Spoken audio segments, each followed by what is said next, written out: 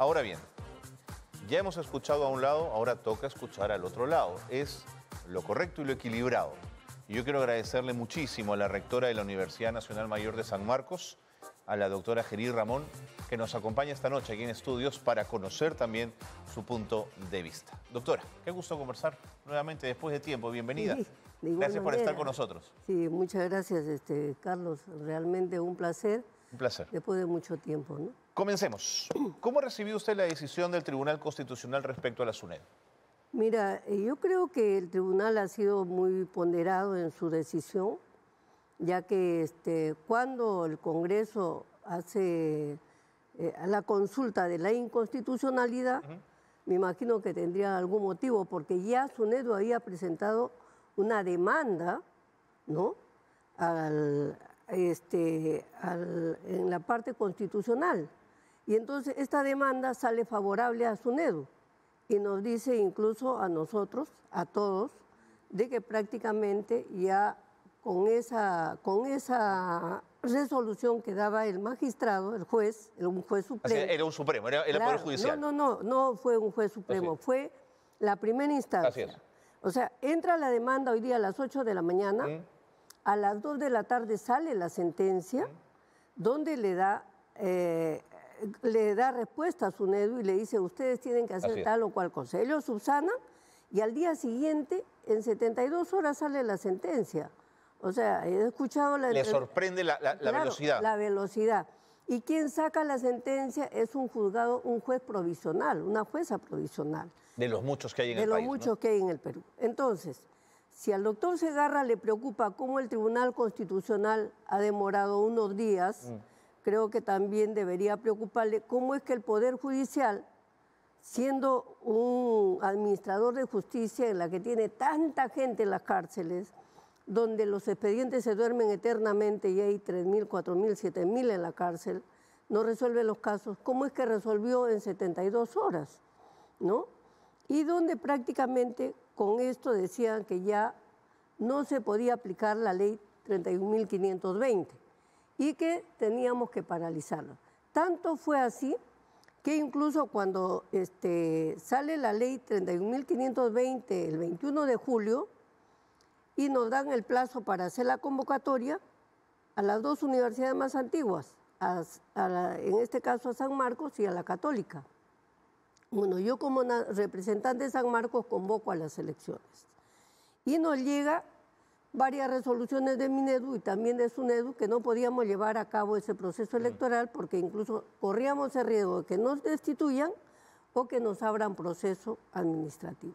Algo ilógico, porque yo no había sido elegida por Sunedu ni por Minedu, sino por el voto universal que hay en las No, y universidades. recuerdo su respuesta. Usted dijo que me denuncien, pues, ¿no? Claro, Usted se que me puso al frente. sí, pues, así. ¿no? Recuerdo, recuerdo. Porque yo, ¿qué estaba haciendo? Cumplir lo que la ley mandaba. Mm. Las leyes se han hecho para cumplir, ¿no? Aún con las amenazas que me hicieron. Y posiblemente corría riesgo de que me destituyan, pero en la vida o haces o no lo haces, no hay término medio, no te puedes quedar a medio, a medio camino, porque si no, no avanzas. Frente a eso, Sí, por favor, termine, termine, no quiero interrumpir. Frente a eso también hablamos de que eh, al señor Segarra le preocupa la constitución de los miembros de SUNEDO. Miren, con la ley 3220, SUNEDO estaba compuesta por siete miembros. Este, dos representantes de universidades públicas, colocados por ellos, un representante de universidad privada, Pero por, por un tema meritocrático. por meritocracia. ¿no? Y un miembro de Concitec y dos Así renombrados. es. ¿Quién le ha conocido a los renombrados? Solo ellos, porque ellos los, los elegía, Y el presidente de SUNEDU, que era puesto por el ministro de, de Educación.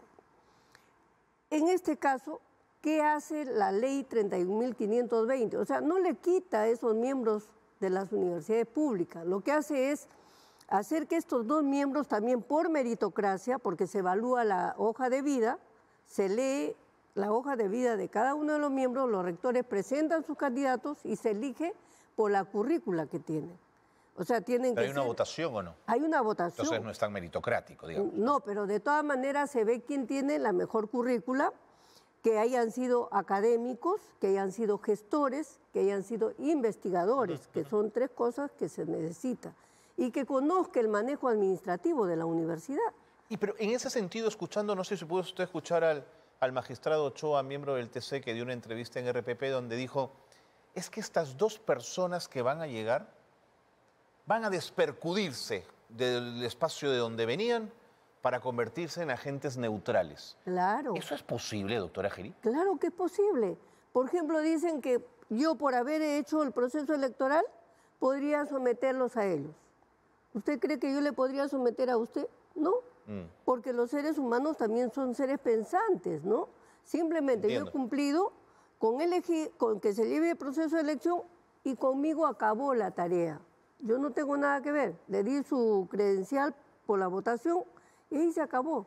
Y San Marcos no es la que dirige, en este caso, ya a los miembros elegidos por SUNED, para representar a SUNED. Mm. Porque se acabó la función de San Marcos. Muchos dicen que San Marcos va a seguir manejando. No, eso no es cierto. Yo como rectora de San Marcos me iré de acá un tiempo. Y, hablan de la rectora también, dice la rectora. Yo me voy a ir el 2026. Yo acabo en julio del 2026. Y las instituciones quedan. Ah, sin duda. Lo que se, está buscando es que la ponderación de SUNEDU sea más justa, más equilibrada, más equitativa. Y ojo, miren, y ahora van dos miembros de universidades públicas, uno de privada, un miembro de Concitec, un miembro de Cineace, un miembro de la Junta de decanos y un miembro del Ministerio de Educación. O sea, dentro de los siete miembros, ellos también se reunirán y verán a quién eligen como presidente. No necesariamente será un profesor universitario. Podría ser que sí, como podría ser que no, no. Pero, ¿y todo este proceso no le llamó a usted la atención o no le preocupó que pudiese haber un conflicto ético en la medida en que tres ex magistrados del Tribunal Constitucional, el doctor Mesía, el doctor Blume y el doctor Eto, se hayan sumado a los esfuerzos del Congreso de la República y de su propia posición, doctora Gerí, para poder obtener estos resultados ante el Tribunal Constitucional? Bueno, a mí no me parece eh, nada raro, porque recuerden que los abogados están sujetas a litigar por, por la parte que quieran ellos, porque así es la profesión del abogado. Su función es litigar. Nadie le puede impedir, no litigue por esta área. Pero puede haber conflictos de intereses, ¿no? Puede haber conflictos de intereses, pero yo creo que, miren, eh, yo no sé eh, si yo conozco las leyes constitucionales, porque hay que conocer el Código Procesal mm. Constitucional para poder defender esto, y no me estoy yendo en contra de, la norma, no puedo defender. Eso no, no, no va a ir contra la ética, ¿no? Yo creo que no, lo percibe usted, no, siente que no, que no hay un conflicto. De acuerdo. Quería preguntarle eh, respecto a que hay toda una suerte de campaña, sobre todo de sectores políticos más que académicos, que andan diciendo con, con, mucha efervescencia y con mucha virulencia que la SUNEDU no ha hecho nada, no ha servido para nada. A mí me parece que es una percepción injusta, pero quería conocer su punto de vista, doctora Gerí. Yo no voy a dejar de reconocer que SUNEDU ha estado controlando la calidad. Así es. Que ha hecho licenciamientos. Pero también hay que reconocer, ojo, que si de acuerdo al artículo 12 dice que SUNEDU es un organismo público técnico especializado, ¿no? ¿Cómo es que SUNEDU, siendo un organismo público técnico especializado, porque no le están diciendo métase en la elección de los rectores. Usted defina si la firma de ese rector procede o no, a pesar que nosotros los rectores que vamos por voto universal, participa OMPE para las elecciones y participa un comité electoral nombrado por la Asamblea Universitaria. Entonces, ¿cómo es que SUNEDU puede decir su firma de usted no pasa y no, no sube, no sube como rector? ¿no? O te limita a tenerte un mes, mes y medio esperando que te autoricen la firma. Yo creo que eh, SUNEDU eh, vulneró ciertos principios, ciertos procedimientos para irse más allá del mandato que ellos tenían. ¿Y esta subsanación resuelve estos problemas? Yo creo que sí, siendo un comité técnico, porque mire, es técnico, muy académico y también el representante de la Junta de Decanos sabe, conoce los perfiles de los profesionales que se tienen que sacar dentro de las universidades, va a ir con un criterio de, mucho más abierta. ¿Por qué? para conocer qué quiero, qué busco, tienen que estar los especialistas. Y en este caso yo sí pienso que se va a mejorar. ¿Un decano de colegios profesionales le suena especialista en educación? Claro, ¿por qué no? Generalmente los decanos que llegan a los colegios profesionales no solamente llego porque me han elegido por, por voto popular, voto universal. Un tema más gremial. Eh, ¿no? Es un tema gremial, pero que también puedo ser académico, Mm. ¿no? No, y también duda, puede, es puede ser, ¿no? Y entonces, eso es algo muy importante. Lo- el otro punto que yo siempre he criticado de SUNEDU, ¿cómo es que SUNEDU ha ido castigando a, la- a las universidades públicas? ¿Cómo? Este, mire, por ejemplo, cierra Pedro Ruiz Gallo, Mm. cierra Luis Gonzaga de Ica. La pregunta de los 500 mil reales que yo siempre me he hecho, ¿cómo es que yo, Estado, que invierto, porque esa plata es del bolsillo de todos los peruanos, para poner infraestructura, poner eh, un local que los chicos puedan participar, yo puedo cerrar Es el financiamiento estratégico, digamos, que claro, recibían las del universidades. Estado, Así es. puedo cerrar yo una universidad pública sabiendo que ahí llega la gente del pueblo. ¿Quién se ha preocupado durante estos años? Oiga, señor, ¿y a dónde se han ido estos niños? Porque son niños de 16, 17, 18 años los que están ingresando. pero llegará la gente del pueblo que, por supuesto, aspiracionalmente quiere la mejor Claro, educación para tiene, sus familias, eh, eh, pero de pronto no se las daban, pues, esa No, buena pero, educación. pero de todas maneras, este señor Cordejo, yo SUNEDU, ¿qué hago? Busco cómo le acompaño para que mejore Pero la no cierro, calidad dice usted. académica. Pero no lo cierro, porque cuando yo estoy cerrando, yo no dejo de pagar a los trabajadores, ojo, sigo pagando a los trabajadores, sigo pagando a los profesores. Entiendo su punto, entiendo su punto. Entonces, ¿cómo es que, que yo siempre digo, cómo es que el Estado se puede comer a otra institución del Estado? Yo no voy en esa línea. Para eso está SUNEDU, que debió acompañar. Miren, señores, mejoren esto, vean estos estándares que les falta, le doy El licenciamiento, así como las acreditaciones, son procesos de revisión Por eso, interna pero muy, se, muy da- severos, se va ¿no? dando procesos, ¿no? Y no si no lo consiguen, No, bueno, ahí sí lo cierro, pero mire, tiene, tengo que, que agotar. Mm. Estamos hablando del Estado. ¿Cuánto dinero se ha perdido en esos años? En las Doctora Geri, una última pregunta que el Sí. tiempo me gana. Usted siempre dijo sobre la SUNEDU que le preocupaba la autonomía universitaria. En estos años, ¿usted ha sentido que SUNEDU vulneró la autonomía universitaria, por ejemplo, en San Marcos?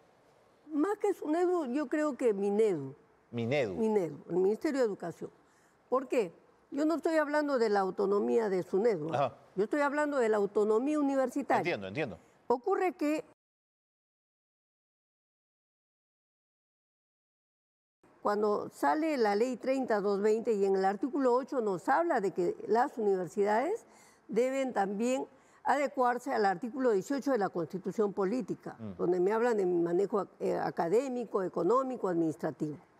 Sin embargo, cuando entra esta, esta norma en la que nos limita, porque Minedu nos dice, miren, eh, sacan primero un decreto supremo donde 121-2018, donde nos dicen que nosotros tenemos que alinearnos al ROF de Minedu, a los lineamientos de Minedu. Minedu saca una resolución 588-2019, donde nos dice, su estructura orgánica debe ser de esta manera. Oiga, pero nosotros nos ceñimos a un estatuto elaborado por la ley 30220, que cuando sale el 2014 nos dan dos años para elaborar. ¿Su estatuto colisionaba con estos, claro, con estos indicadores? colisiona ¿Sí? con estos indicadores. Mi- de mi estatuto yo saco mis instrumentos de gestión. Mm. Sin embargo, al a tener la injerencia Minedu, nos dice, mire, su estructura orgánica, por ejemplo, ahora de las facultades, este es su decanato, sus directores, sus coordinadores y no hay más órganos de línea. Y eso es falso. Yo no puedo igualar a una universidad de 471 años con una universidad de 20 años. Es como que un abuelito le, agarraría con un niño de un bebé de 8 meses. Entiendo. Y, y- y la diferencia es grande, porque el abuelito puede utilizar pañales, pero son más grandes, pues, y el niño va a utilizar un pañal más pequeño. Las diferencias se van a dar, la estructura se va a diferenciar. Esto no lo ha querido entender Sunedu- Minedu. Y entonces Minedu, hasta ahora, mire, no se aprueba el ROF de San Marcos. San Marcos tiene una estructura orgánica tan grande Cada facultad es- No, claro. equi- No, es equivale un a una monstruo. universidad No, por su- pública. por supuesto. Entonces, ¿cómo me van a cerrar Mm. esos bloques? Si yo limito esa estructura orgánica de las facultades, que tienen su autonomía también, ¿usted qué cree que me van a hacer las 20 facultades? Así como el Congreso, me van a cortar el pescuezo. Claro. ¿No? Entonces, eso no he querido entender mi nieto, Entiendo. ¿no? Entonces, este, yo lo que le- Hagamos algo. sí. Véngase en dos años, Arimanchik. No sé si estaré yo, habrá algún otro compañero aquí sentado, no lo sabemos. Y veamos qué resultó de todo esto, si ganamos Claro. o perdimos. Yo creo que eso sí, y hay que ver que los cambios son necesarios. Nadie se puede aferrar a las cosas Vamos a ver. porque todo es progresivo, ¿no? Lo importante es que la educación en no, el Perú y yo, yo sí voy a decir que SUNEDU tiene que mantenerse, tiene que seguir, tiene que controlar la calidad. Sí, pero no así. Eh, pero no así. De acuerdo. Pero que también quiero aclarar, porque muchos me tildan Para a cerrar, mí por favor, como defensora de las universidades de papel, de cartón, de tecnopor. A mí no me interesan esas universidades. Yo estoy defendiendo la educación pública, las universidades públicas. Ellas que vean por qué fueron de cartón, por qué fueron de tecnopor. Y creo que es importante porque a San Marcos todos los días le ponen en los titulares. Por eso es que creo que es importante que se aclare. Yo no he hecho nada. Yo solamente lo que he hecho es cumplir la ley al pie de la letra, nada más, ¿no? Doctora Geri, le hemos escuchado con, con claridad, con paciencia, le agradecemos mucho. Hemos compartido ambos puntos de vista. El público sacará sus propias conclusiones, que es lo más importante. Sí. Y ojalá que por la educación del país todo vaya para adelante. Muchas gracias. muchas gracias y Siempre es un también un feliz año Feliz para todo el año, país. feliz año, igual para San Marcos. Gracias. Vámonos a la pausa y vamos a seguir con más aquí en Grimanchik. No se vayan.